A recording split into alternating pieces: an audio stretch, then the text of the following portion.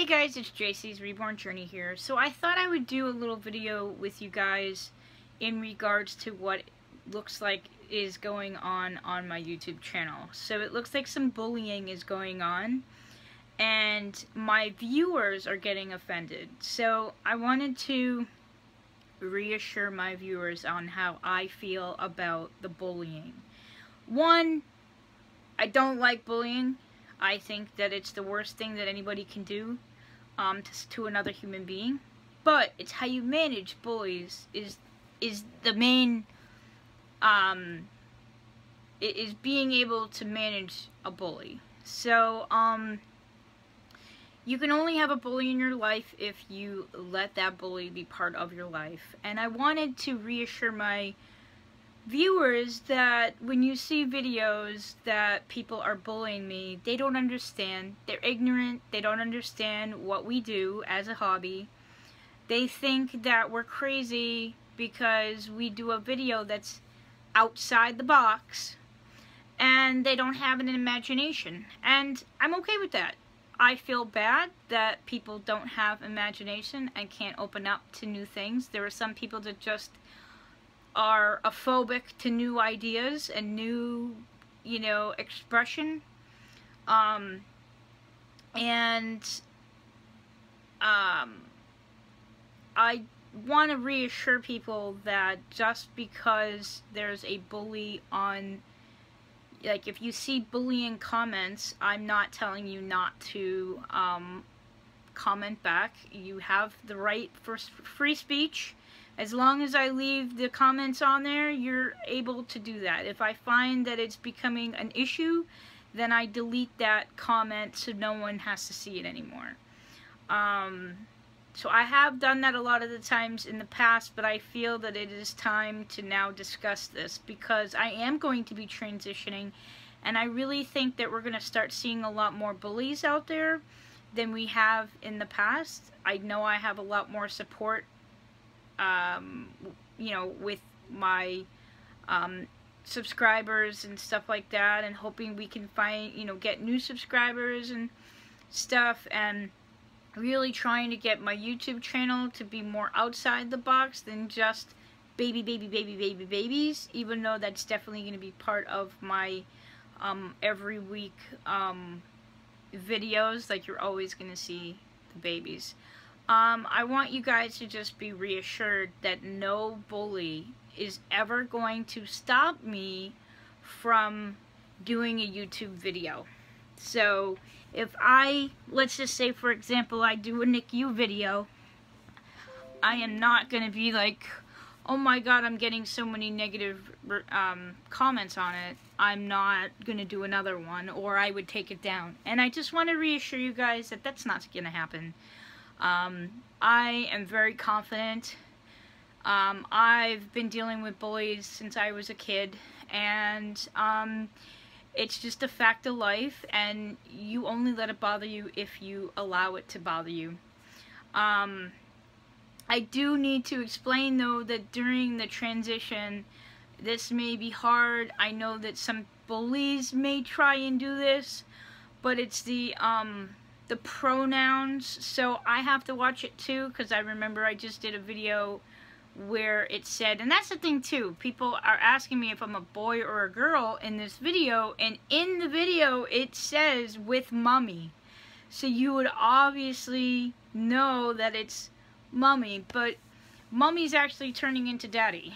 And um, I think that's going to be difficult, not just for me, but for a lot of the viewers. It's going to be difficult, but I think as we grow together in the next year and or so, and you do start seeing the changes, I mean, we are going to have a lot of changes. Um, my facial features are going to be different. Mm, going to be, my voice is going to get deeper. Um, facial hair is going to start growing. I'm going to have top surgery, which I'm very excited about. And I also want you guys to be aware of that there are, there is going to be some detailed videos. So um, I know that it's gonna it's gonna I think in the video like if I'm gonna be like ever showing anything or anything like that, or if it had to do specifically with F to M, and that means female to male. That's what that stands for. but it will have F to M in the front of the title and you would know that it has to do in regards to um, transgender and I could be um, showing certain things that I normally would have never shown before. Um, would I do bottom surgery? I don't know yet. I'm debating about it. I don't think I would ever show bottom, you know, like the bottom. I think that would be a little too private. Um, so I haven't quite decided on even if I were going to do it because there's um, many surgeries you have to do and I'm not going to keep it off the table, but I'd like to see a doctor about it and discuss it because you have to do some skin grafts and I notice a lot of them are doing it one on the leg and one on the arm and I want to see if I can get it both done on the legs. I feel like it would make me a little bit more dysphoric if I had like I mean it's literally a scar that goes from here to here. So it's a big skin graft, and I don't want that on my arm. So I don't see why we couldn't take it both on the leg, because at least when you go swimming or wear shorts or something like that, um, it won't be seen. So that's the big thing that I would be discussing with them. And if they can't provide that for me, then maybe I'll wait. Like, and also we need to know financial and if it you know what covers it and what doesn't cover it and all that good stuff. And um, the other thing too is the hysterectomy. So I also need to talk to a doctor about that. Now I have some medical reasons why I need to have a hysterectomy versus um, keeping them. Um, I have interstitial cystitis and it's really painful. And during that time when you do get cramps and I know that when you go on T you're still, you may not actually have your time of the month, but you're still going to have um, cramping, and that's what's painful for my bladder, so um, it's something that I definitely would need to do, and I would probably need to do that before bottom surgery. So this is definitely going to be, you know, I would say a three to five year uh, process. Um, so people ask me if I'm a boy or a girl, and I can't really answer that because um, the sex of your body that you're born in doesn't necessarily mean that's what you are. And um, if you're going to be changing that, then how, um, you know, how, um, how, how do you answer that question? So at this point, I'm just saying I'm transgender. let them figure it out from there. Because um, I am. I, I've been transgender since I was five. So it's nothing new. Family is sick of hearing about it. They're just excited and wanting it to be over. um, I think same thing, you know, I have a friend who I've known since high school and, you know, he's great. Um, I'm sure I'm going to get, you know, when I start looking like a guy, I'm going to start getting treated more like a guy and will I be able to handle that is the question too. But I just wanted you guys to know that like at this point um, or I just want you to know that I don't want you guys to in any way feel that any negative comments is going to refrain me from doing videos I like. I've never in the last five years have ever let anybody's negativity affect me in any way. I will be doing more NICU videos. I will be doing more videos with the five-year-old. I even got the five-year-old girl kit. I will be doing videos with them. Um, I want to let you guys also know that Christmas, I'm actually not going to buy anything because Dennis had a lot of, he was such a baby.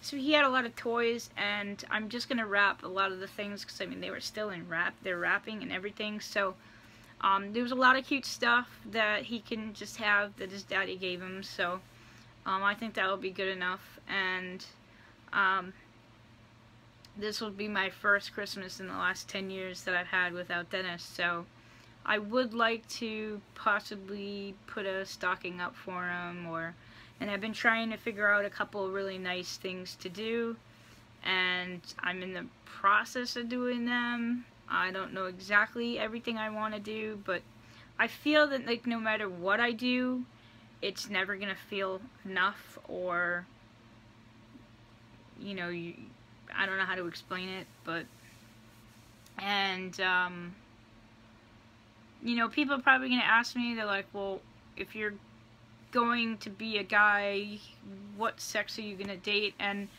honestly, I can tell you, I mean, ideally I would like a woman, but ideally I just want somebody who I can relate to on all levels.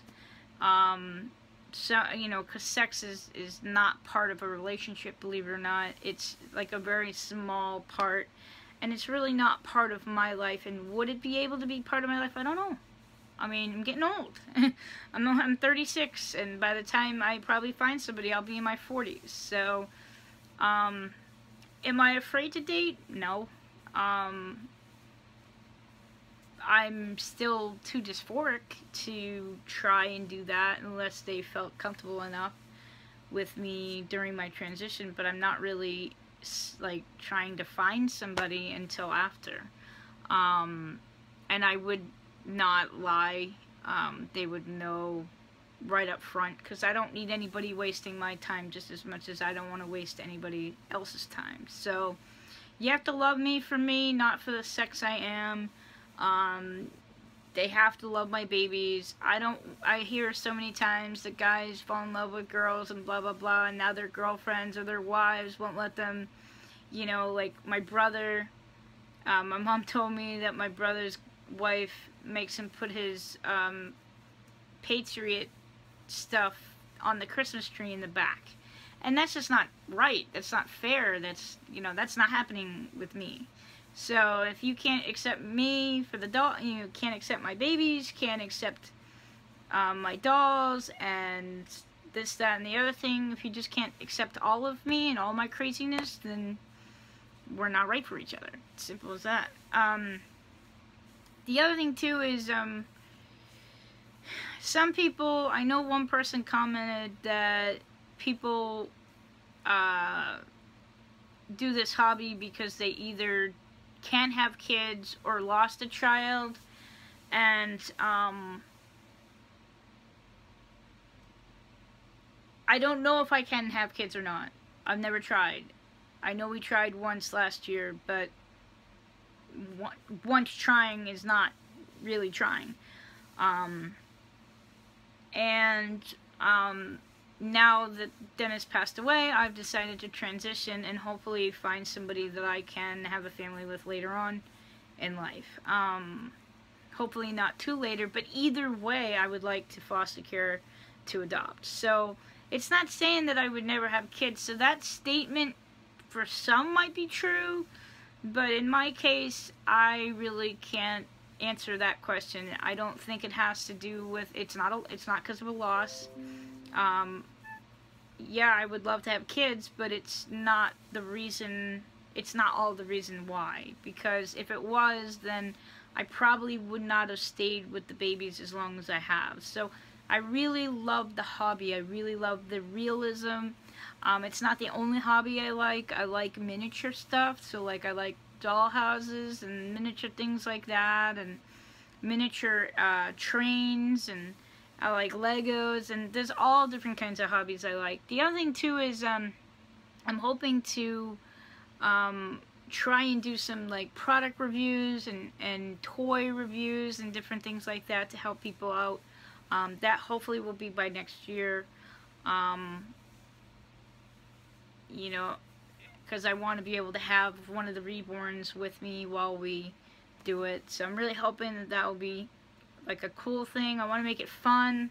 Um, I don't want to make it, um, you know, stupid and annoying. So um, I want to make it fun and where people would want to watch it.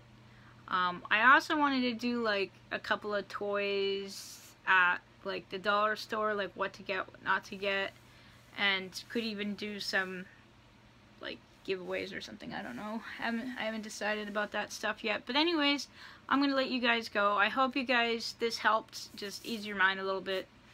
Thank you so much for watching. Don't forget to like. Don't forget to comment. Don't worry. I'm okay. My feelings don't get hurt on these ridiculous, silly things. Actually, it's funny to me. So don't you guys worry about it. Thank you guys so much for watching. Please subscribe, and I'll see you guys back here the next time. You guys enjoy your weekend.